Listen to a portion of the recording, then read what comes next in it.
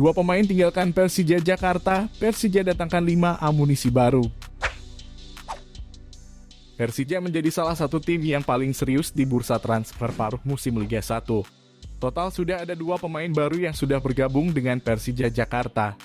Dua pemain berposisi back Dandi Maulana dan Birul Walidain akan menambah kekuatan Persija di putaran kedua nanti. Namun banyak yang kurang puas dengan rekrutan baru Persija yang merupakan pemain cadangan di klub sebelumnya. Padahal Birul Walidain selalu menjadi andalan dan bermain bagus saat masih di Persela Lamongan. Thomas Doll percaya kedua pemain tersebut akan memberikan penampilan terbaiknya untuk Persija. Tidak sampai di situ, kabarnya Persija akan segera meresmikan dua pemain baru lagi. Namun belum diketahui siapa dua pemain tersebut. Jadi total akan ada lima tambahan amunisi baru Persija Jakarta di putaran kedua. Empat pemain lokal baru dan Osvaldo Hai yang sudah kembali bergabung. Ada yang datang pasti, ada yang hengkang.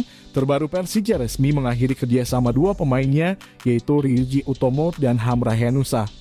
Keduanya resmi meninggalkan tim Persija Jakarta. Banyak yang menyayangkan Persija melepas Ryuji Utomo, padahal Ryuji salah satu back kuat yang dimiliki Persija. Sebagai supporter harus terus mendukung Thomas Doll semua yang terbaik untuk tim Persija Jakarta.